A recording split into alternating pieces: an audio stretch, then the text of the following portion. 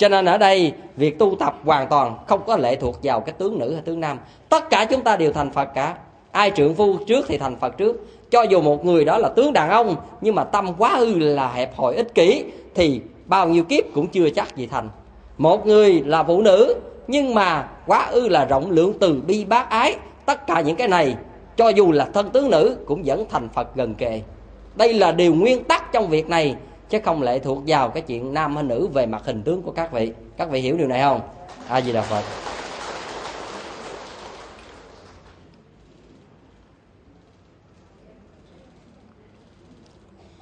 Kính xin thầy quan hỷ cho con được hỏi là khi hộ niệm cho người khiếm thính, chúng con cần phải khai thị như thế nào? Hai là lễ hằng thuận có thể tổ chức nhân kỷ niệm 10 năm ngày cưới được không? Ba là trong luận bảo dương tam muội có câu nghĩ đến thân thể thì đừng cầu không bệnh khổ. Vì không bệnh khổ thì tâm tham dục dễ phát sanh. Như vậy khi có bệnh chúng con xin ghi tên cầu an có được không? Xin thưa các vị về mặt hộ niệm cho người khiếm thính. Người khiếm thính có nghĩa là người bị điếc á. Không nghe được á. Thì thật ra mà nói á, khi mà rơi vào trường hợp này á thì nó cũng rất là khó muốn cho người đó nghe, có thể là cái khả năng nghe người đó còn được bao nhiêu phần trăm. Có nghĩa là khi mà mình hộ niệm, mình muốn cho người ta nghe được, mà bây giờ người ta điếc ta không có nghe. Vậy thì phải làm sao? Thì bây giờ các vị nào giỏi thì banh lỗ tai người ta ra, la vô trong đó.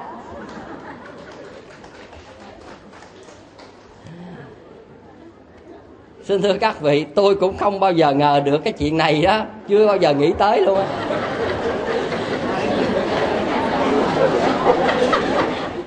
Thật ra mà nói, khiếm thính, tức là người bị điếc. Nhưng mà quan trọng nhất là người đó thần kinh có còn tỉnh táo hay không? Nếu một người hôn mê mà giàu có, còn cái lỗ tai hoạt động theo giọng thông thường mà tới giờ hôn mê và người khiếm thính lúc hôn mê, hai người này giống nhau. Bởi vì bản thân của ai cũng không tiếp nhận được cả. Trên nguyên tắc nếu đã hôn mê thì cái sự quân tập hạt giống gọi là bất tư nghì cứ gieo vào một cách rất là vô tình. Có thể do một cái về mặt vật lý người này không nghe được, nhưng về mặt sâu thẳm của tiềm thức thì lời niệm phật này vẫn gian dội vào tai. Cũng vậy, một người có mắt sáng hay là một người đuôi khi vào bóng đêm là như nhau không? Hoàn toàn như nhau. Ở đây chúng ta phải thấy, khi là bóng đêm thì là mắt sáng và có mắt, không ai có thể khác hơn được cả cái chuyện này. Thành ra, khi là người khiếm thính hay là người nghe được giàu trong cái thời điểm là đã hôn mê, thì hai cái này hoàn toàn giống nhau. Nhưng một người khiếm thính mà người này chưa hôn mê, thì chúng ta có nhiều cách. Rất có thể sau này các vị tạo thêm một bức tranh minh họa. Bức tranh minh họa đó, các vị làm những cái hình ảnh, những cái động thái của một hình ảnh minh họa và để những cái chữ chú thích á, thì người này có thể không nghe được nhưng mà nhờ những hình ảnh minh họa và những chữ chú thích ngắn gọn để người ta dựa vào hình ảnh minh họa này, người ta hiểu những điều mình nói. Và hiểu những việc mình đang làm. Thì cái này tôi nghĩ là các vị nêu như vậy, đột ngột tôi chỉ nghĩ được như vậy thôi. Cái vấn đề này thì xưa nay tôi cũng chưa thấy sách vở nào chỉ như thế này. Nhưng mà cái này phải gặp. Đây là điều thực tế, rất thực tế. Tại vì trong muôn muôn dạ người, dĩ nhiên chuyện này phải có thôi, chứ không thể là khác hơn được. Thì bây giờ, nếu trong ban hộ niệm chúng ta có được, thì chúng ta sẽ tạo ra những bức hình minh họa nhỏ nhỏ và những hàng chữ chú thích đó à, để là à, cố gắng niệm phật để được phật rước về tây phương. À, rồi cái chúng ta vẽ một cái hình cái người ngồi chắp tay niệm phật cái chúng ta chấm từ cái miệng ra a di đà phật hay nam mô a di đà phật. Chúng ta để vậy cái ta hiểu là nên làm gì. Ở bên cạnh đó chúng ta cần vẽ một hình một ông thầy hay một người cư sĩ đó, đang hướng dẫn người ta là người thầy này đang hướng dẫn niệm phật nó cái mình minh họa một cách như vậy để cho người đó nói không nghe mà chúng ta la cũng rất là khó, làm động niệm nữa. Thì nhờ những hình ảnh này, chúng ta chỉ chỉ vào. Thì người này đó xem sẽ biết. Đó. thì ở đây tôi muốn nói rằng chúng ta vô số phương tiện để độ chúng sinh. Cái gì làm được thì cứ làm. Mai này tôi nghĩ rằng những cái ban hộ niệm mà sáng tác được một cái hình ảnh như thế đó để minh họa chừng năm bảy hình để diễn tả và để hướng dẫn cho người ta từng bước trong quá trình mà niệm phật mà lúc những người kiếm tính đó tôi nghĩ cái này à, sẽ thành công với cái vấn đề đó đó. Và phổ biến ra thì các vị cũng sẽ được thành công. Tôi nghĩ là cái này chúng ta nên sáng tạo thêm một chút những bức hình có rõ ràng một chút và những lời chú thích từng chút từng chút. Nó giống như chuyện tranh của mấy đứa nhỏ vậy đó không? Mấy đứa nhỏ các vị thấy ha? À, các vị thấy cứ thấy gì đây này nè đôi khi nó đâu có biết chữ. Nhưng mà cái thằng này nó lấy nó đấm vô mặt thằng kia cái cái nó vẽ cái hình gì? Cái hình giống y như là cục đá mà rớt xuống dưới nước nó văng té lên vậy ha. Có nó sẹt sẹt ra đủ thứ ha. Cái thằng đó mà mày đánh một cái cái đầu nó xiển liễn ha. Cái này để ba bốn dấu hỏi chữ tròn tròn tròn tròn tròn tròn bên cạnh người đó. Cái thằng đó mặc dầu nó không biết chữ nhưng mà nó thấy này là nó biết thằng này bị đánh xiển liễn nó mới vậy, ha có phải vậy không? À, tức là cái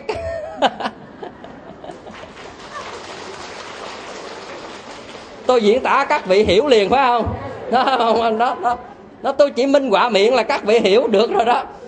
Các vị, nó, cho nên mai mốt về chúng ta có những cái hình như vậy đó. Minh họa ra, chú thích thêm một chút xíu gión gọn thì người đã nhìn vào sẽ hiểu cái đó gì. Bắt đầu á, chúng ta sẽ vẽ, cái bước cuối cùng là vậy. Đức phật tiếp dẫn cái người này lên hoa sen. Thì mình đợi để là nhờ thiện duyên niệm phật mà người này được. Phật rước về tây phương giảng sanh. Cái mình thấy người này đang ngồi trên tay bông sen chắp tay vậy nè đó là mình chú thích ở dưới vậy là đức phật đưa tay về này tiếp dẫn. Là người này biết rằng nếu thành tâm niệm phật thì mình cũng ngồi trên bông sen giống người đó vậy đó. Để đức phật rước về. Có thể không nghe lời giải thích các vị nhưng mà cái hình ảnh này làm người ta hiểu được. Các vị thấy phải vậy không? Ừ thì tôi mong rằng tất cả các vị sẽ làm được những cái cách như thế này để gặp những trường hợp mà người khiếm thính như thế này thì để các vị giúp cho người ta trợ niệm cho người ta thành công. Chúc các vị thành công. A di đà phật ừ còn lễ hằng thuận tổ chức nhân kỷ niệm 10 năm ngày cưới được không? Sự thật thì làm thì cũng được mà ta nói mình hơi khùng.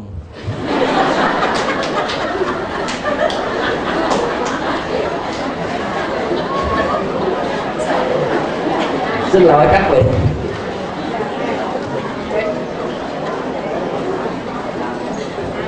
Xin thưa các vị cái lễ hằng thuận có nghĩa là lễ thành hôn theo nghi thức của phật giáo. Vậy thôi. Và nếu người nào chưa quy y thì nhân cái lễ thành hôn đó quy y luôn trong ngày đó. Vừa rồi cái buổi lễ khánh thành của chùa tôi đó thì buổi sáng có một lễ cưới á, trùng hợp và tôi đã làm lễ cho họ và quy y cho họ ngay ngày hôm đó luôn. Và hôm đó tôi đặt một vấn đề vậy nếu không quy y tôi không làm lễ. Ha. các vị này chưa quy y mà bây giờ hoàn cảnh tôi nó đặc biệt thế này mà chính xin làm lễ hàng thuận thôi mà không có quy. Y tôi nói lễ hàng thuận mà không quy y tôi không làm lễ chừng nào phát tâm giác ngộ thật sự là hôm nay mà quy y luôn tôi mới làm lễ, bởi vì hôm nay tôi quá bận mà. Như vậy thì bây giờ lễ hằng thuận mà không quy y, không có ý nghĩa. Giá trị của nó là giúp một là những người đã quy y rồi. Hai là người chưa quy y, đây là cơ hội để giúp cho họ để trở thành phật tử một cách danh chánh ngôn thuận, hợp lệ. Và việc quy này tôi đã giảng rất là nhiều rồi, tôi không muốn nói đây. Cho nên lễ hằng thuận tự thân của nó là là lễ cưới, lễ thành hôn bằng nghi thức Phật giáo. Và nếu có thêm quy y nữa thì để gọi là lễ hằng thuận quy y. Còn do đôi vợ chồng này đã quy y rồi thì chúng ta chỉ để lễ hằng thuận. Chúng ta phải biết là như vậy. Cho nên chúng ta đã cưới nhau 10 năm rồi mà còn gì nữa là lễ hằng thuận. Hả? Nhưng mà bây giờ nếu mà cưới nhau 10 năm mà chưa quy y thì bây giờ bây giờ sao? Thì đến chùa ghi danh quy y. Cưới trăm năm mà chưa quy y thì cũng đến chùa quy y cũng được. Đâu sao đâu quan trọng là quy y thì không lệ thuộc vào cái chuyện đó. Còn làm lễ cưới đã cưới rồi làm gì nữa? Ha. À, thành ra câu này tôi nói tới đó ha. Rồi. Còn còn trong luận bảo dương tâm muội nghĩ đến thân thể thì đừng cầu không bệnh khổ vì không bệnh khổ thì tham dục dễ sanh á. Như vậy khi có bệnh chúng con ghi tên cầu an có được không? Cái câu này các vị có bệnh các vị có muốn mình hết bệnh không? Muốn thì các vị cầu an cũng như là một ý niệm muốn các vị hết bệnh. Chuyện muốn hết bệnh có lỗi gì không? Không. Nhưng mà ở đây không phải mình muốn bệnh, nhưng mà nhân cái bệnh đó mình sẽ suy tư được những điều về Phật pháp. Chứ không phải là tự nhiên khỏe mạnh vậy ước muốn mình bệnh để tôi hiểu được Phật pháp. Như vậy đo lại hệ thần kinh chút xíu đi. Ha. khỏe khoắn muốn chết không chịu chịu nghĩ gì vậy? Ha. các vị phải biết là như vậy. Bất đắc dĩ mà chúng ta có bệnh á, chúng ta phải nghĩ như vậy để đừng đau khổ. Và nhân nơi lỡ có bệnh như vậy, chúng ta sẽ hiểu được lời Phật dạy chính xác hơn. Điều này về nghe lại cái bài giảng 10 điều tâm niệm, thầy giảng tại Úc Châu. Trong đó có câu này, và thầy đã phân tích rất cặn kẽ về nghe lại và hiểu được ý nghĩa của câu này. Thầy xin kết thúc câu này tại đây. A gì đà phật.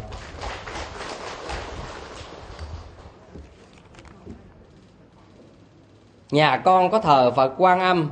Trước đây hàng đêm vào lúc 7 giờ tối và 4 giờ sáng, con thường tụng kinh, chú đại bi và phổ môn. Đêm 30 giờ 14 con tụng chú đại bi và di đà. Hồng danh sám hối, có nên không? Sau khi tụng kinh xong, phải cúng thí thực mới được. Phải không thầy?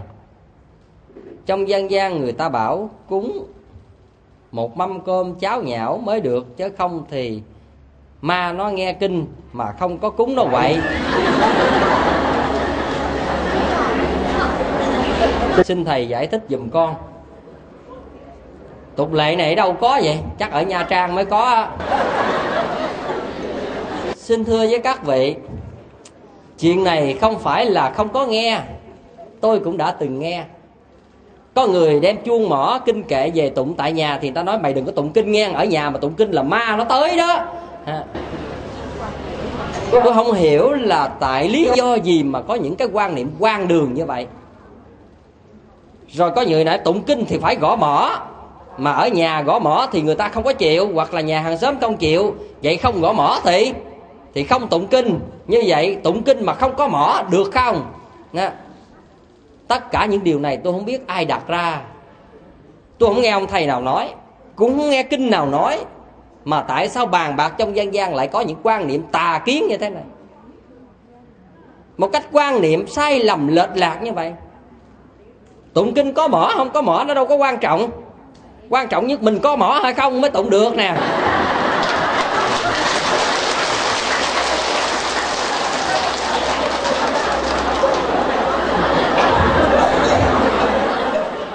Nếu mình không có mỏ, mình tụng được không? Thành ra chính cái chỗ đó cho nên các vị đừng quá lệ thuộc vào mấy cái chuyện quan niệm bậy bạ vậy. Nào là tụng kinh rồi phải cúng cúng hay không là việc có tùy chúng ta cũng như cúng cô hồn ở chùa vậy, được hay không tùy chúng ta. Tùy lương tâm và lòng hảo tâm của chúng ta đối với những chúng sinh là cô hồn, những chúng sinh chưa tái sanh được, những chúng sinh tái sanh vào một môi trường ngạ quỷ, đau khổ, cái dẫn đến tùy lòng từ bi chúng ta có thể cúng hay không tùy. Còn kinh kệ chúng ta cứ tụng tụng sáng đêm, tối trời, sáng đất, các vị cũng vẫn tốt như thường. Không lệ thuộc giờ giấc mà cũng không lệ thuộc vào chuyện chuông mỏ gì cả. Ở nhà không chấp nhận điều mà chúng tin có mỏ thì chúng ta cứ tụng bình thường cũng thầm lặng. Thật ra, cái mỏ ở trong chùa nó mang cái nghĩa gì? Mang nghĩa là chừng canh cho đại chúng tụng nó đừng trật nhịp thôi. Tự thân thời kỳ đức phật, làm gì có tụng kinh bằng mỏ? Các vị có thấy thanh văn đệ tử, thánh đệ tử của đức phật cầm mỏ tụng kinh chưa? Có không? Các vị vô các chùa nam tông có thấy môn sư nam tông cầm mỏ chưa? Cho nên ở đây cái mỏ đó là nó rất hay ở chỗ là nhờ có tiếng mỏ này mà ví dụ bây giờ mình một hai người tụng thì nó đồng nhất cái dễ nhưng mà năm mười người trăm người tụng kinh cái mà nay thấy tụng à. Ha, nó lọt sọt cho nên bây giờ cái tiếng mỏ để nó làm gì nè. Ví dụ như mình tụng mà mình có c cái tiếng mỏ mình biết mình kéo mình trở lại. Nhờ nghe cái tiếng mỏ là biết cái nhịp chừng cánh của nó như vậy để mình tụng theo. Cho nó trúng nó ăn nhịp nó rập khuôn nó nghi lễ nó nó hay thôi. Thành ra cái chuyện tụng kinh có mỏ không có mỏ không sao cả. Cái việc này nên nhớ. Rồi cái việc ở đây các vị tụng kinh như thế nào, có cúng hay không, tùy lòng hảo tâm các vị. Không mang nghĩa tụng kinh rồi ma quỷ về nhà, không mang nghĩa không cúng rồi ma quỷ nó quậy nó phá. Thằng nào phá? À. xin thưa các vị, chúng ta phải hiểu vậy đó. Tùy lòng hảo tâm và từ bi, chúng ta làm được điều đó, nó sẽ có phước. Nếu chúng ta thương tưởng tới những chúng sinh cõi âm và cõi dương này, tức là chúng ta nghĩ đến một cái lòng đại bi lớn như vậy, thì tốt thôi chứ đâu có gì đâu tại sao ở trong chùa cầu cúng cái chuyện mà cô hồn như vậy? Cũng thể hiện lòng đại bi. Chư phật đã từng dạy cõi âm âm siêu dương thế. Các tổ từng dạy, mình muốn cho chúng sinh cõi đời này được hạnh phúc, đồng nghĩa với mình nguyện những chúng sinh không thân cũng được hạnh phúc an lành. Được hay không tùy nghiệp của họ, nhưng lương tâm của mình, từ bi của mình mình cứ nguyện. Còn ba cái chuyện mà ma quỷ về nhà hay không, quậy phá hay không, chuyện đó là quan tưởng. Đó vậy những người không có đạo, những người không có cúng gì hết á, họ bị quậy hết trơn à hả? Các vị hiểu như vậy sao? Hiểu như vậy người con phật rất là thiệt thòi. Người con phật cái gì cũng chịu tội, cái gì cũng chịu quậy, cái gì cũng chịu khổ hết á. Mấy người khác không tu hành, không có khổ, không tội gì hết trơn á. Các vị làm điều này ta sợ chùa luôn á. Chưa vô chùa thì không nghe gì trơn. Tới vô chùa này tội này tội này, tội tội tội tôi ở nhà luôn, chứ mắc gì vô chùa, tội đủ hết vậy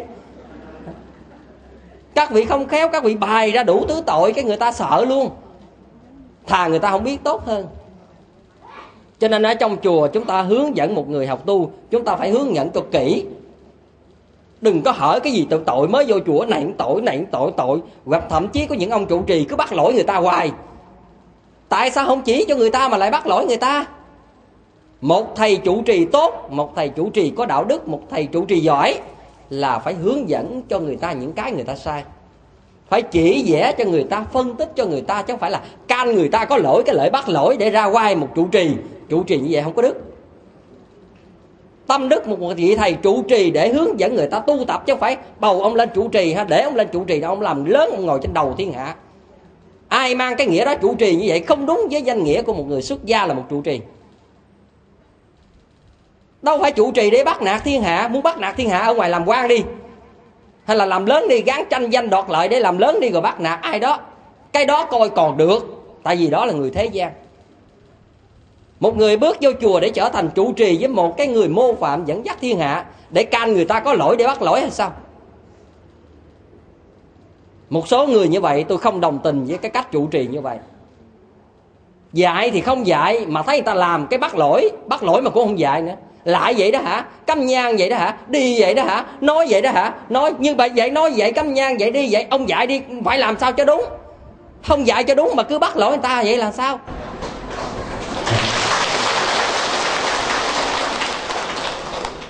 Cho nên tâm đức một vị thầy chủ trì phải rộng lượng.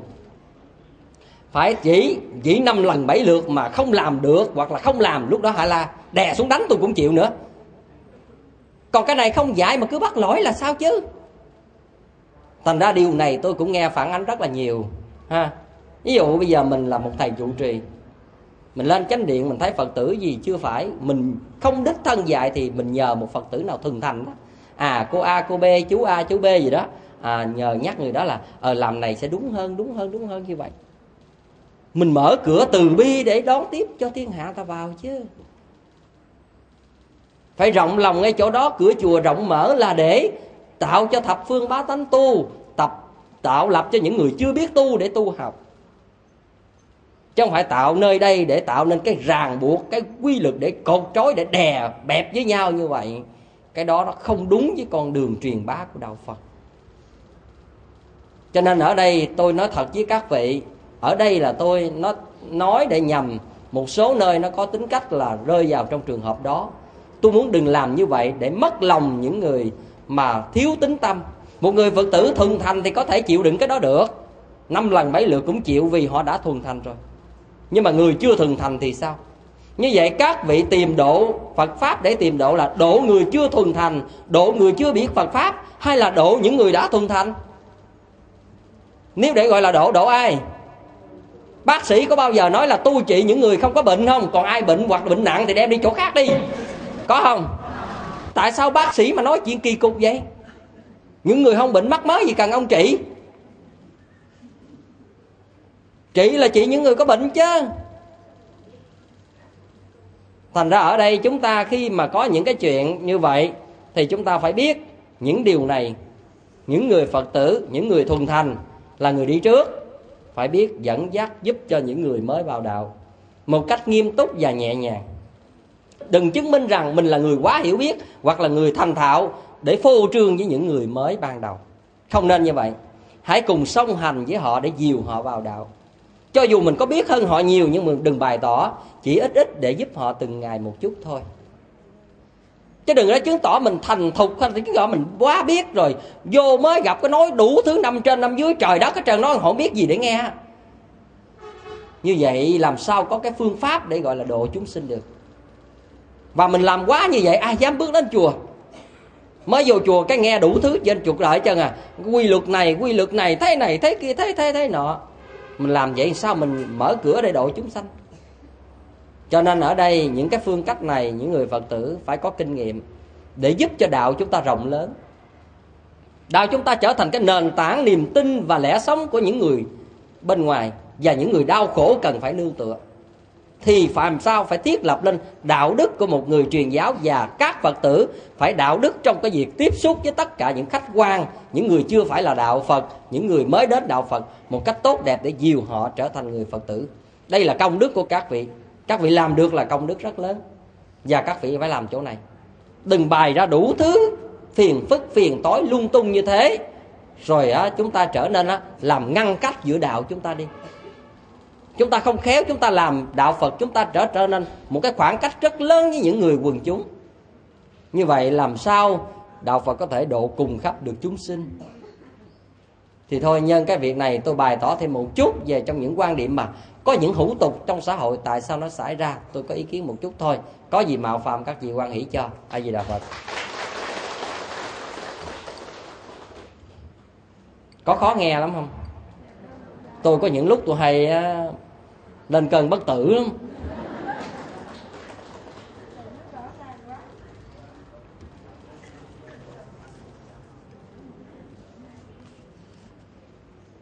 Có người nói ông thầy này ông giảng pháp ông hay sân.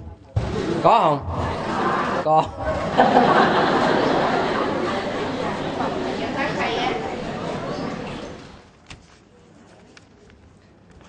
Kính bạch thầy, con được nghe là phật thị môn trung hữu cầu tất ứng. Con chưa hiểu rõ, mong thầy khai thị, giảng giải cho con và các phật tử cùng hiểu, để trên bước đường tu học được viên mãn. Cái câu phật thị môn trung hữu cầu tất ứng, cái này là môn trung chứ không phải muôn trung.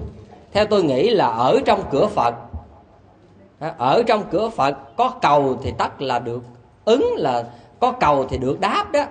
Thì cái câu này, tức là trong cửa phật có cầu được ứng, nhưng mà xin thưa với các vị, đồng thanh thì tương ứng mà đồng khí mới tương cầu. Đồng thanh tương ứng có nghĩa là muốn cầu thì phật ứng, nhưng mà nhân với quả nó phải ứng.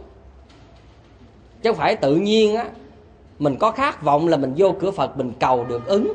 Nếu như vậy thì người con phật chúng ta khỏi cần tu để cầu thôi chứ tu làm gì?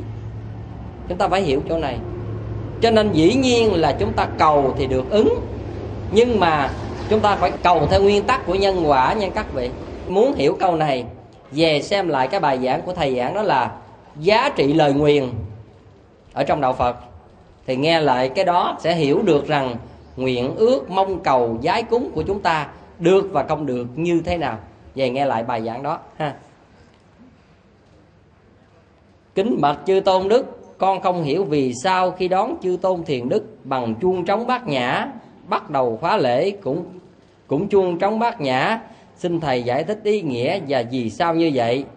Cái này hỏi thầy trụ trì rõ liền, khỏi cần hỏi tôi nha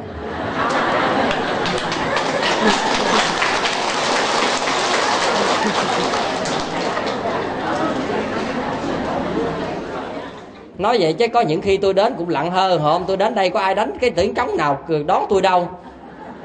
À, hôm đến đây đâu có ai đánh tiếng trống tiếng chuông nào đâu. Xin thưa các vị để làm cho nó long trọng trang nghiêm trong cái cuộc lễ đó là một nghi lễ thôi chứ không phải gọi là điều bắt buộc. Không có thì nó không được hay là có nó tăng phước thêm không phải như vậy. Đó gọi là làm long trọng cho một buổi lễ hay một sự tiếp rước thôi. Việc đó đúng ra thì chúng ta hỏi thầy chủ trì nó hay hơn hãy ngồi để tâm sự các vị cho nó dễ ha. A di đà phật. Hồi thầy giúp con phần đó nghe thầy.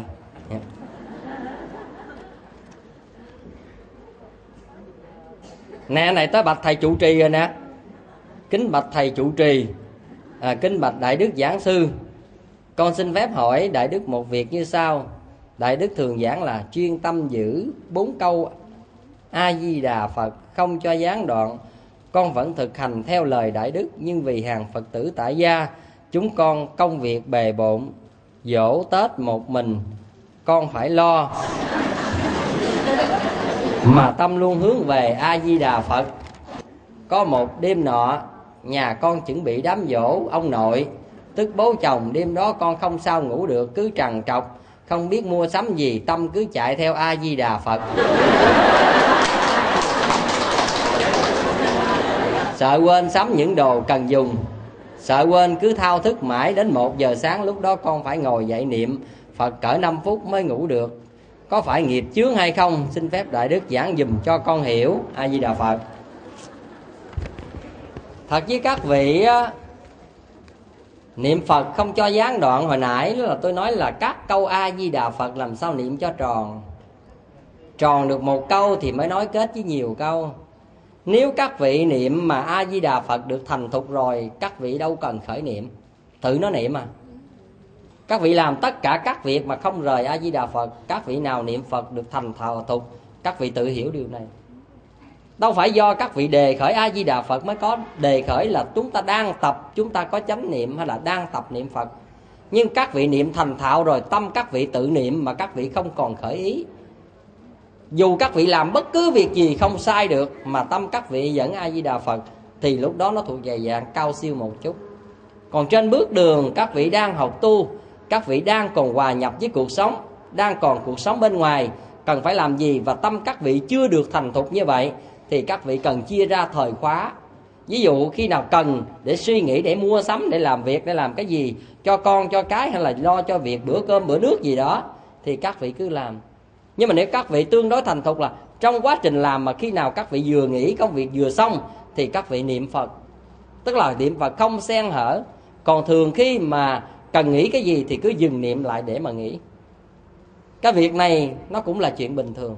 Nhiều ngày chúng ta tập quen riết, chúng ta thành thạo là vừa làm gì xong tự nhiên nhớ niệm phật. Đó. Chúng ta tập quen được như vậy, rồi mai này khi niệm phật thành thục, tự nhiên ngủ thức dậy mình đâu có ý niệm niệm phật đâu nhưng mà đầu mình vẫn a di đà phật sẵn từ hồi nào á. Nó là như vậy mà. Thử một đêm các vị thực hiện tinh tấn coi. Tự nhiên các vị giật mình thức dậy mà niệm phật hồi nào không biết mà tự nhiên trong tâm các vị, nó a di đà phật, nó gian vọng và nó tỉnh như vậy á. Các vị không biết là tại sao. Thật ra các vị, khi các vị thành thạo rồi, nó là như vậy. Nó xuyên suốt như vậy, cho dù các vị ngủ, nó vẫn hoạt động một cách bình thường, theo cái chiều hướng các vị đã từng điêu luyện tâm mình. Còn ban đầu thì thật sự với các vị nếu mới tu thì cần phải khi nào công khóa, khi nào niệm phật, rồi khi nào cần nghĩ ngợi làm việc gì đó. Đây là đang tập sự tu. Thì vì tập sự tu cho nên các việc phải được cho hoàn thiện tốt nhất. Không vì niệm phật để hư công việc, mà không vì công việc mà bỏ quên niệm phật. Đây tùy các vị. Ví dụ các vị cần có thể nhen ra để làm công việc gì cần thiết, tính toán gì đó. Nhất là cộng sổ sách đây nè cộng mà lo niệm phật hồi ghi vô a di đà phật thay vì ghi 10 triệu quốc a di đà phật vô đưa quá đơn người ta người ta không biết đường trả luôn á. À, cái này là nó như vậy ha. Thì tôi nghĩ là các vị tu hành là tự thích nghi lấy tự linh hoạt để sắp xếp làm sao vừa công việc và vừa tu tập được cho tốt. Đây là sự khôn ngoan của mỗi người. Tu không phải là công thức tôi nói với các vị rồi. Trong việc tu học không phải là một công thức chúng ta đừng nói hai cộng hai bằng bốn. Ai nói phật học dạy chúng ta như vậy là trật lắm. Nếu mà phật pháp và một công thức thì các nhà toán học, bác học về toán học trên cuộc đời này, tất cả họ đều là phật hết rồi. Vì đạo phật hay là phương pháp tu hành không phải là một công thức, cho nên những cái người bác học đó chưa phải là phật. Hai cộng hai bằng bốn là chuyện thông thường của toán học nhưng mà hai con gà cộng với hai củ khoai lang, đó mới là phật học. Đó. phật học là chỗ này cũng hai mà nói như vậy đó. Ông toán học nào cứ cộng dùm cho tôi cái đó đi. Nó ra cái gì? Nó ra bốn cái gì? Đó. xin thưa các vị, nếu chừng nào ông nhà toán học cộng được cái này thì lúc đó mới bắt đầu là mấy ông có khả năng thành phật đó. Thì phật học nó là hai con gà cộng với hai củ khoai lang. Các vị biết không? Cho nên á, đạo phật mà các vị cứ khư khư khư khư như vậy thì không phải là phật học đâu các vị. Cái đó gọi là khuôn khổ. Là một công thức rồi tu như vậy nó kém linh động. Ha. Các vị phải hiểu ngay chỗ này nó như vậy đó. Hết giờ rồi.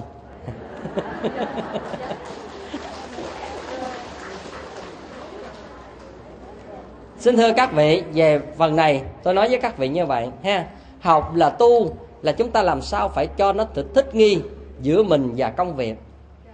Ví dụ bây giờ một người á là lại phật không có nổi già cả rồi mà bà này bà đến bà phải sám hối mới hết nghiệp chướng nghe.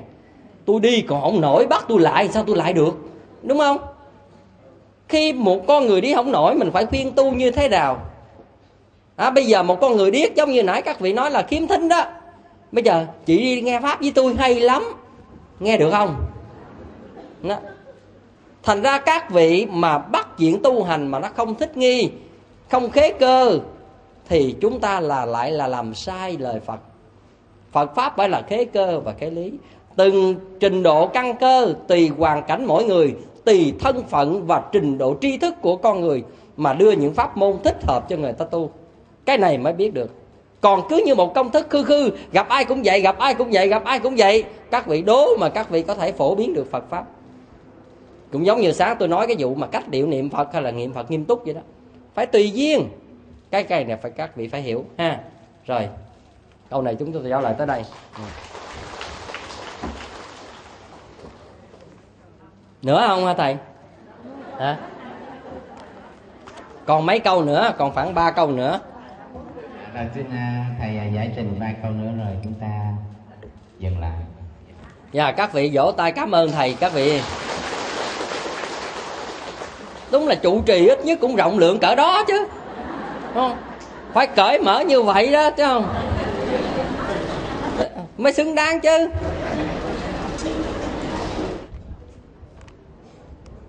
Con đã phát nguyện ăn chay trường, nay đã được 7 năm. Nhưng con còn nuôi các cháu nhỏ, nên hàng ngày con phải mua những thức ăn mặn để nấu cho các con cháu ăn. Việc làm của con có ảnh hưởng tới lời phát nguyện của con phát nguyện và có tội hay không? Con xin thầy từ bi chỉ dạy cho con để con an tâm tu tập. A di đà phật. Xin thưa các vị, câu này muốn trả lời phải phân tích như thế này. Nếu việc này mà có ảnh hưởng đến tội lỗi, thì như vậy người này sẽ không ăn chay trường để nấu mặn luôn và mình ăn luôn, có phải vậy không? Nếu vậy thì sao? Cho nên ở đây tôi muốn nói như thế này. Ăn chay trường là việc của chúng ta công việc lại là việc khác. Các vị có nấu mặn, có nêm thức ăn mặn cho chồng, cho con, cho vợ, cái việc đó hoàn cảnh bắt buộc. Nghiệp duyên thì phải làm. Nhưng một việc làm đó để các vị ăn mặn và một việc làm đó các vị là người phát nguyện ăn chay thì các vị thấy cái nào tốt? Cái nào tốt? Nói dứt ra nếu đã quyết định ăn chay tốt thì việc này có lỗi gì? Như vậy, ở đây con người chúng ta khôn ngoan, cái nào tốt chúng ta làm chứ không nô lệ ở một dư lượng nào hết.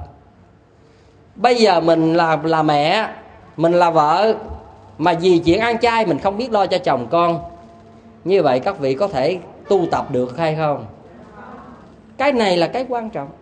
Như vậy, tôi có thể ăn chay nhưng mà tôi nếm thức ăn mặn, tôi có lỗi gì? Thật ra lỗi hay không? Thì cái hành động mà mình mua đã có có có đó, nó tự đó cái đó nó có cộng nghiệp rồi. Nhưng mà nếu mình ăn chay thì cộng nghiệp khác, mà mình ăn mặn chung luôn thì cộng nghiệp khác. Chúng ta phải hiểu vậy. Chúng ta mua cái đó cả mình cũng ăn thì lại là cộng nghiệp 10 ví dụ vậy. Còn chúng ta làm cho người khác ăn, mà chúng ta là người ăn chay trường, thì cộng nghiệp có thể một, hai. Như vậy về nguyên tắc nó là như vậy, không cộng trừ nhân chia gì. Nó cũng vẫn là như vậy. Cho nên ở đây nếu nuôi chồng, nuôi con phải làm, thậm chí chúng ta là người ăn chay trường mà bán hủ tiếu mặn hay bán cơm mặn, việc đó vẫn tốt.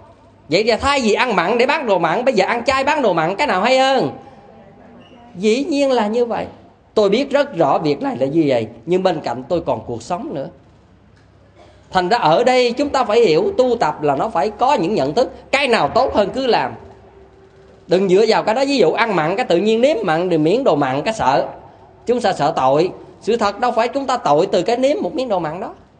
Chúng ta nếm một trăm lần cũng không có tội nữa. Tôi nói thật với các vị, tôi nói một chút thôi về nghe lại cái đĩa là ăn chay và ăn mặn thì các vị sẽ hiểu rằng cái quan niệm ăn chay ăn mặn đạo phật hơn. Tôi muốn nói đây một chút này. Tự thân của việc chay mặn để gọi là tội phước không phải bỏ một miếng cá vào miệng là có tội, không phải bỏ vào một miếng thịt vào miệng là có tội. Ai hiểu như vậy sai lầm? Một miếng cá bỏ vào miệng không có tội. Một miếng thịt bỏ vào miệng không có tội gì cả. Nếu miếng cá, miếng thịt này từ trên trời rớt xuống, tôi cũng tranh giành với các vị để có mà ăn nữa.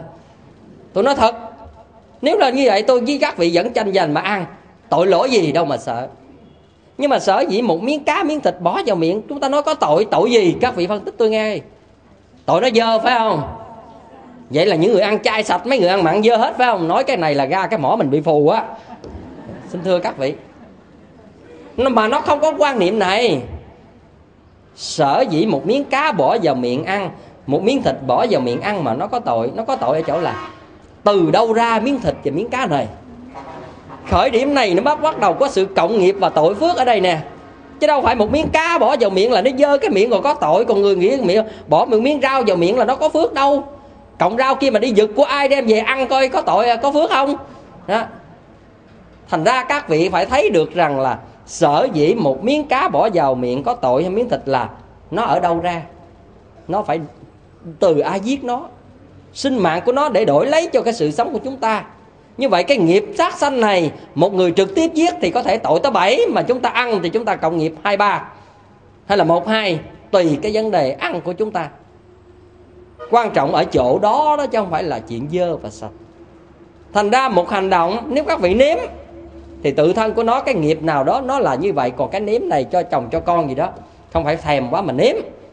Cái việc này nó không dính dáng gì cái tội phước trong đó. Cho nên nó cần thiết thì nếm không cần thiết thì thôi. Chả có là cái gì quan trọng cả. Quan trọng nhất mình ăn chay được là tốt. Tự thân mình cứu mình ra được, được dai bao nhiêu về nhân quả rồi. Còn cái hành động kia thì cái trả nghiệp của mình thì tùy nghi. Cái nào nó theo cái đó chứ không có cập nhật vô nhập đẹp như vậy nếu mà nói ờ, ờ bây giờ ăn chay không có được nếm đồ mặn nghe không có được bán đồ mặn vậy thì ta bán mặn mà ta ăn mặn luôn. Còn bây giờ à, vẫn được thì bây giờ người ta bán mặn nhưng mà ta ăn chay ta giỏi không? Thậm chí ta giỏi hơn mình nó hàng ngày ta nhìn hoài mà ta không thèm ta giỏi chứ. Mình không thấy mình không thèm đúng rồi. Hả xin thưa các vị ở đây tôi muốn phân tích để các vị thấy cặn kẽ của việc đúng sai tội phước đó. Chứ đừng có ép uổng một cách sai lầm mà không hiểu cứ cho tội hỏi tội gì chúng ta không biết phải phân tích được cái tội phước của nó. Cái này nó rất rõ như vậy. Cho nên mai này nếu mà khoa học thành công, chúng ta sẽ ăn mặn mà không có tội nè. Có tội chăng nữa? Rất là ít. Đó là thịt nhân tạo. Các vị có nghe này chưa? Hả? Trời ơi, tôi theo dõi cái này dữ lắm luôn á. Mà hết giờ sợ thượng tọa la thôi đi. Bữa khác nói. ha bữa nào có thời gian tôi sẽ nói với các vị quá trình để tạo thịt nhân tạo này cho các vị nghe. Những nhà khoa học đang làm. Hả? Quan năm à, chưa biết nha. Biết nó có trùng hợp không? Hả? Nhưng mà tôi muốn nói với các vị là như vậy. Các nhà khoa học vẫn thấy rằng sự sát sanh này nó vẫn là có cái gì nhẫn tâm mà. Thiếu lòng từ. Họ vẫn kết luận trong bài báo là họ vẫn thấy đau khổ là mặc dù họ ăn thịt đó nhưng mà họ thấy là thịt này từ cái sinh mạng chúng sinh giết chóc như vậy thấy tội lỗi quá họ không phải là đạo phật, nhưng mà họ vẫn thấy rằng cái đó nó mất nhân đạo quá. Nó có cái gì nhẫn tâm quá, tàn ác quá. Họ vẫn thấy như vậy mà. Cho nên họ nghĩ cái cách để chế tạo ra thịt nhân tạo. Bây giờ họ đang làm mà chưa thành công. Họ cấy á, họ cấy những cái tế bào của các loại muốn ăn thịt cừu, thịt dê, thịt heo, thịt gà gì đó, là họ cấy bằng tế bào đó. Và họ nuôi trong một cái ống nghiệm để họ nuôi những cái dưỡng chất để cái tế bào đó phát triển lại thành cục thịt. Thật sự thành cục thịt thiệt, nhưng mà bây giờ cái lượng nước quá nhiều thay vì cái lượng, cái cái một kg thịt, nó chừng là 3 gram nước, mà cái thịt này nó tới chừng nó là gần nửa ký nước. Như vậy nó chưa thành công, cho nên họ đang làm đó. Nếu mà mai này mà họ làm cái đó ra đó, thì nếu chúng ta có quen ăn mặn rồi á, thì chúng ta ăn mặn cái đó nó đỡ tạo nghiệp dữ lắm luôn á. Đỡ tới 99% lần á, chứ không phải chuyện bình thường đâu. Phải không? Cái này là từ nhân tố một một tế bào thôi, chứ không phải là sinh mạng nữa. Các vị phải thấy được chỗ đó này mở ngoặt nói chút thôi hôm nào nói tiếp ha rồi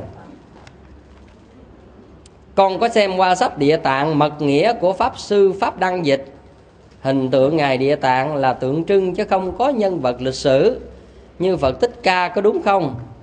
Tại sao có người tụng 49 ngày là kinh địa tạng cũng có người tụng kinh A Di Đà? Xin thầy chỉ dạy con hiểu. Xin thưa với các vị, Đức Phật địa tạng là có mặt là qua quá trình Phật pháp phát triển tại Trung Hoa. Tự thân của Đức Phật, nó trải qua các truyền thuyết, cho dù là quan âm hay là địa tạng. Sự truyền thuyết này có thể là một cái hiện tượng của quá trình phát triển về văn hóa, cũng có thể là một sự hiện thân của một vị bồ tát. Như thế như thế. Thì ở đây, qua quá trình mà ngày xưa tôi đọc lịch sử đức phật, thì tôi được biết rằng đức phật thọ ký cho ngài địa tạng là ở cung trời đau lợi nè thành ra bây giờ cái việc này giữa truyền thuyết và sự thật tôi chưa biết như thế nào. Nhưng trên căn bản, hình ảnh bồ tát địa tạng hay là lời dạy trong kinh địa tạng hoàn toàn như một cái lời hướng thiện rất là tốt.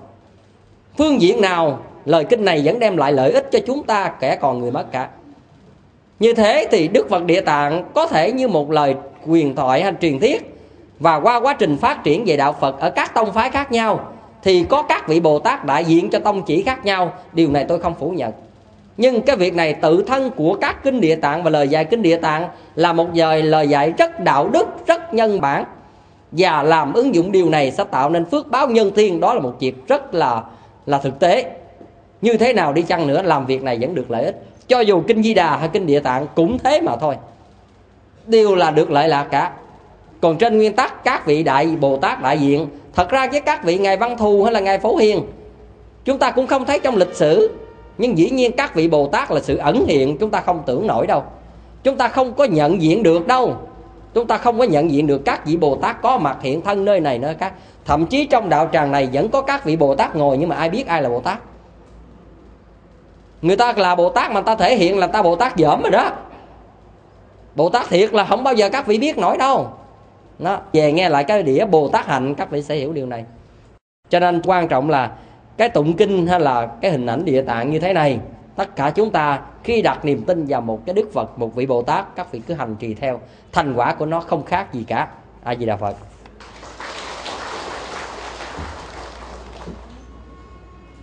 Câu cuối cùng, bạch thầy, trước đây hàng đêm con thường trì chú đại bi. Nay nghe thầy giác nhàn bảo niệm a di đà phật không được xen tạp, vậy con có nên chú trì chú đại bi nữa hay không? Xin thưa các vị các vị tu tập theo một vị thầy nào đó là việc của các vị. Phải trung thành với lời hướng dẫn của thầy đó. Còn nếu chúng ta nghe để chúng ta tự vận vận dụng lấy tu riêng, thì việc đó tùy các vị. Còn các vị đã nguyện theo thì phải làm cho nó đúng với tập thể người ta hướng dẫn, đúng với tông chỉ hướng dẫn. Sai thì người ta chịu trách nhiệm. Thì cái việc này tùy mỗi nơi tổ chức tu hành. Nhưng riêng tôi, thì cái việc này của riêng tôi nha tôi không nói gì đến cái vấn đề này. Việc trì chú hay niệm phật hay làm tất cả các công đức, chúng ta cứ nghĩ niệm phật a di đà mới được giảng sanh là các vị sai lầm. Tu tịnh độ mà nghĩ vậy là sai lầm. Về nghe lại cái đĩa tịnh độ con đường tu tắt tôi đã giảng rồi. Một người sanh ra trên cuộc đời này, cái tự nhiên niệm phật a di đà để chờ đợi giảng sanh nè cái sự có mặt của người đó vô lý quá, vô nghĩa trên cuộc đời. Tự nhiên sanh ra không làm gì được hết trơn niệm phật chờ chết à sao gì kỳ vậy? Sao tại sao một quan niệm tu hành mà tiêu cực vậy? Tôi có thể làm được tất cả các việc trên đời mà tôi vẫn giảng sanh nè. Bây giờ tôi nói như thế này. Một người đó niệm phật rất ít. Nhưng mà hàng ngày đi từ thiện hoài, từ sáng tới chiều vậy đó. Hay là đi bố thí, đi làm phước, chăm sóc cha mẹ, hay thậm chí không có tụng kinh à, di đà mà tụng kinh pháp hoa. Hay là thậm chí không tụng kinh pháp hoa mà trì địa tạng. Hay là không trì địa tạng, trì đại bi, ví dụ vậy chữ thật ra tất cả những cái này, nhưng mà sau mỗi thời hành trì, các vị làm như thế này. Con nguyện đem tất cả những công đức mà con làm được hôm nay. Con nguyện hồi hướng trang nghiêm cảnh tây phương tịnh độ. Để sau khi xả báo thân của được giảng sanh về tịnh độ, giảng sanh không? Cái này mới quan trọng. Cái quan trọng mà cả đời các vị niệm a di đà phật mà các vị chưa bao giờ nguyện giảng sanh, đố các vị giảng sanh đó tôi dám cam đoan luôn đó, ai một đời niệm a di đà phật mà chưa bao giờ nguyện giảng sanh, tôi đố các vị đó giảng sanh. Cho nên a di đà phật là nhân tố căn bản để các vị nguyện giảng sanh là tốt rồi. Nhưng các vị tu như vậy vô cùng tiêu cực. Các vị ví dụ già, cả đầu bạc hay là sức khỏe không nổi, cả đời làm lụng vất giả và phụng sự đạo pháp rồi, bây giờ ngồi niệm phật chờ giảng sanh, hoàn toàn hợp lý còn nói tất cả mọi người niệm phật chờ chết, đây là cái cách tiêu cực. Đúng là chúng ta chết khi còn sống đó. Các vị phải hiểu là như thế này. Tôi làm tất cả các việc trên đời tôi vẫn giảng sanh được vậy. Kinh di đà đâu có phải bảo niệm phật không mới giảng sanh đâu. Kinh dạy sao? Bất cả dĩ thiểu thiện căn phước đức nhân duyên đắc sanh bị quốc đây là chỗ này. Không phải nói có chút ít duyên lành, phước báo mà được gia sanh về đất nước kia. Như vậy ăn chay có phước không? Bố thí có phước không? Giúp đỡ người nghèo có phước không? Chăm sóc cha mẹ có phước không? Trì chú có phước không? Cái đó nguyện giảng sanh được không? Tại sao chúng ta không làm? Chúng ta ngồi niệm phật chờ chết và một con người đi làm hết tất cả các việc trên xã hội này, giúp biết bao nhiêu người để được tốt đẹp, ai là người tu giỏi hơn? Và người nào tu có ý nghĩa và tích cực hơn? Ai quan niệm như thế này là chúng ta, nếu mà cả nhân loại này niệm phật để chờ chết, thì đó là một thế giới chết chết khi còn sống. Chúng ta làm tiêu cực và chậm phát triển là đúng. Còn ở đây, cứ niệm phật, nhân tố giảng sanh vô cùng tốt, cái này tôi không phủ nhận. Nhưng mà quan niệm rằng chỉ có niệm phật mới giảng sanh, thì cái điều này chúng ta hiểu như vậy, nó còn phiến diện. Ha. cho nên tất cả những công đức lành chúng ta làm được trong đời, chúng ta trở nên tu tích cực và làm lợi ích nhiều người trên cuộc đời này hơn cho nên các vị phải làm tất cả các việc, chớ quét rác lát rau, công quả, bố thí, đi làm việc, đi bên ngoài, đi làm tất cả các việc. Các vị đều hồi hướng để trở thành nhân tố dạng sanh. Tu nhân quả mà. Gieo nhân tịnh độ để giảng sanh tịnh tịnh độ. Như vậy tất cả các cái này mà chúng ta hồi hướng thì trở thành gì? Trở thành thành nhân tịnh độ. Các vị thấy có phải không? Điều này vô cùng quan trọng, căn bản trong các kinh những lời dạy của đức phật rất thiết thực như vậy. Chúng ta chỉ trích có một chút xíu, chúng ta hành trì thì nó hơi phiến diện. Nhưng các vị nào, ví dụ già cả, không còn đi làm nổi, cứ ngồi niệm phật để gieo nhân tố, giảng sanh, tốt thôi, đâu sao đâu. Còn cả đời niệm phật mà chưa nguyện giảng sanh, chỉ tăng thượng duyên phước báo thôi, chứ không giảng sanh được đâu. Các vị nhớ vậy, tôi phân tích rất rõ chỗ này. Bây giờ tôi hỏi ví dụ nè, một vị thiền sư cả đời có niệm phật không? Không có niệm phật, nhưng mà sau này sao mà giờ lâm chung phát nguyện hồi hướng giảng sanh tây phương lại lại thượng phẩm, thượng sanh? Vậy cái nhân gì để giúp cho vị thiền sư đó giảng sanh? Chúng ta đọc trong lịch sử về tịnh độ có thấy điều này không? Các vị thiền sư chuyển tâm tu tịnh độ là được giảng sanh liền, có phải không? Tại sao vậy?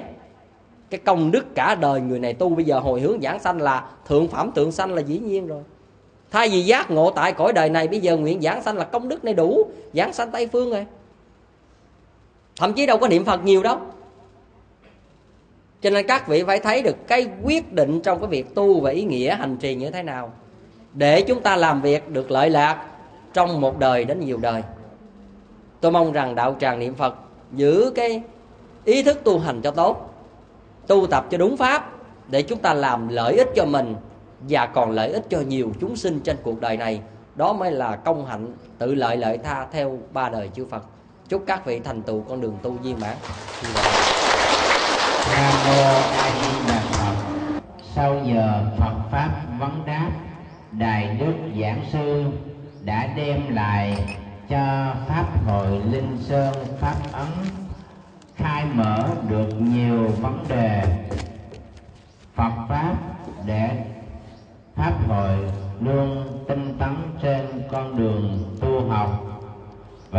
Sau đây.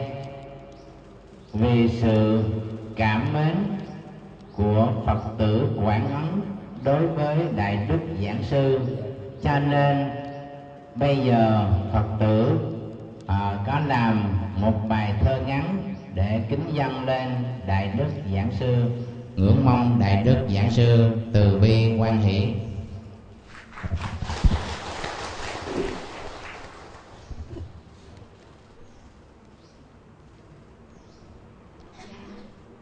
ngồi đọc được rồi cô. Quỳ chi thiệp tổn hướng à. Con kính thưa bạch đại đức anh thượng tọa trụ trì. Con kính bạch đại đức giảng sư.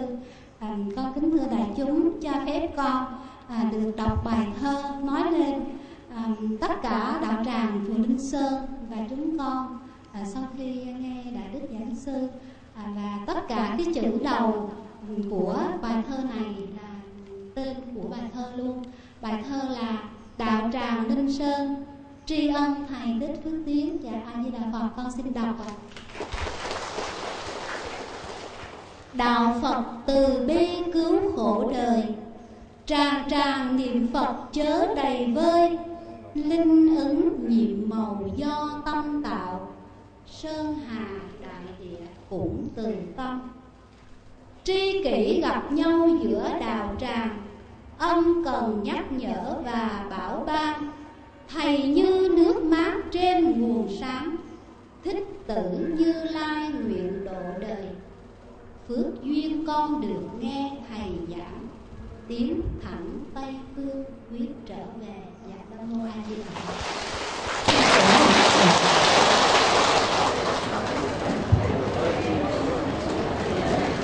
nam mô bổn sư thích ca mâu ni phật. Ngưỡng bạch đại đức giảng sư. Đạo tràng niệm phật chùa linh sơn pháp ấn cũng như ban tổ chức, chúng con thành kính đảnh lễ tri ân đại đức giảng sư đã nhận lời thỉnh cầu của ban tổ chức, chúng con cũng như đạo tràng niệm phật không quản ngại đường xá xa xôi. vì hạnh nguyện hoằng pháp lợi sanh. Cho nên đại đức đã từ bi quan hỷ về pháp hội linh sơn vào ngày hôm nay để ban bố pháp nhũ cho đạo tràng chúng con an tâm trên con đường tu học. Với công đức sâu dày chúng con chỉ biết đê đầu đảnh lễ thành kính tri ân và nguyện cầu tam bảo chứng minh thầm gia hộ cha đại đức luôn luôn chân cứng đá mềm để đi khắp mọi nẻo đường, hướng dẫn cho tất cả phật tử tiến tu trên con đường học phật. Trong đó có đạo tràng linh sơn pháp ấn.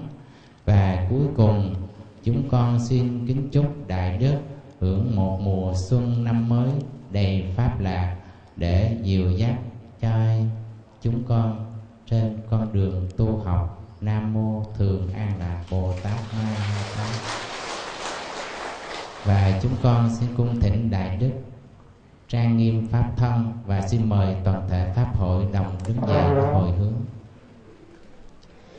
Nguyện đem công đức này